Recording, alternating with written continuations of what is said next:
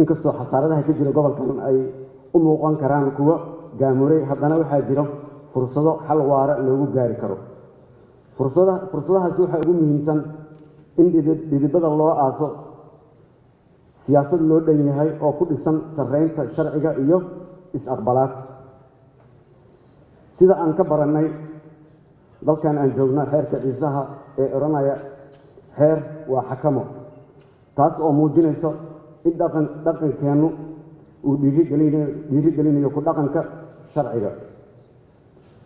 Walaalayaal gobolkan waxaa iiga muuqdo runtii yadadiilo wanaagsan iyo mustaqbal ifaya. Marka aan fiiriyo dhallinyaradii dhallinyaradiisa caabboon bulshadiisa nabadda jecel khayraadka dabiiciga ah iyo meesha istaraatiijiyada uu gobolkan ku yaallo waa mas'uuliyad dhammaanteen na saaran sidii aan uga faa'iidaysan lahayna aan ka fikirno fursaddaasna way noo jirtaa.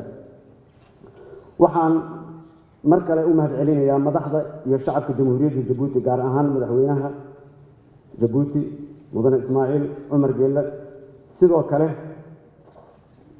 waxaan bogaadinayaa maxadka heritage oo cilmi baaris cilmi baarista oo sanad walba qabta madasha aragti wadaagga soomaalida oo ah meel lagu shiilo maskaxda iyo caqliga soomaaliyeed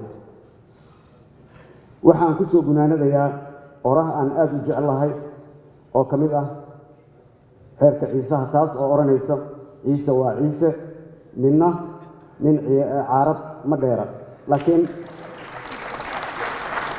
waxaan ku beddelayaa soomaali waa soomaali. Qofna qof caarad ma dheera waa mahadsantiin